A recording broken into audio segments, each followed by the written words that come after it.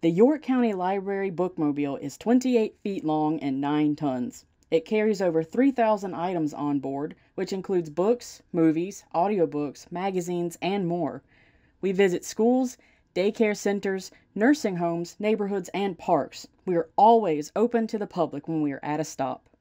On a typical day, the bookmobile will travel to many different stops to provide access to materials such as books, DVDs, audiobooks, magazines, anything you can find in the physical library.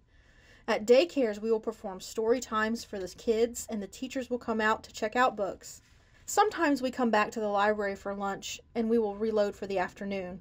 Sometimes we stay out all day and travel from stop to stop. Whoever stays in the office that day will complete essential tasks like shelving, placing items on hold, pulling items from our collection that other libraries have placed on hold, and preparing the next day's materials for the bookmobile.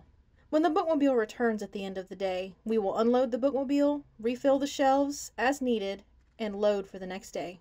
Sometimes teachers don't have enough time to browse for books for their class, so we made these special bags called companion totes. They have 30 random books or 15 random board books for the teacher to use in their class. We also have kinder kits, which are special educational kits and they are themed. They all have books and music, movies, toys, puppets, games, and anything else that relates back to the theme.